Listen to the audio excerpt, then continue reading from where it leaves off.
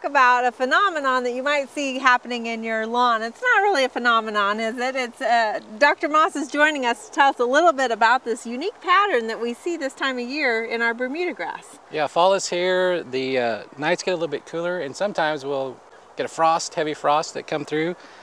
Maybe warm up the next day, maybe the 80s the next day, who knows, right? right? But then you welcome go out, to Oklahoma. welcome to Oklahoma. You go out in the lawn and you see all these weird stripes and you think, oh my goodness, do I have like army worms or do I have, what is this? Yeah. Well, it's just frost damage is all it is. So we got cool. Uh, some of those uh, frost patterns came out on the grass and, and uh, basically just froze it off and then there you go. You've got some dead leaf material and some alive leaf material. So it always makes kind of this wavy pattern, right? It does. It's very interesting.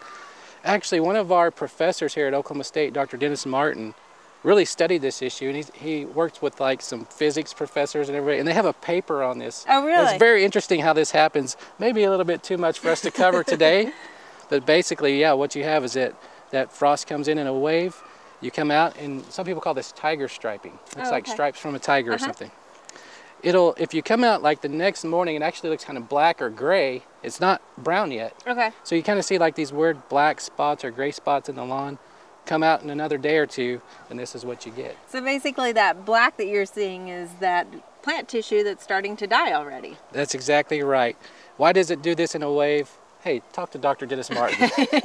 but this is what you get. Uh, nothing to worry about, no big problems. Uh, pretty soon it's probably going to get a hard frost and then the whole yard's going to do this for a Bermuda lawn. All right, so basically the warm season grasses are just getting ready to go to sleep into hibernation. That's right, time for bed. All right, thank you, Dr. Moss. Thank you.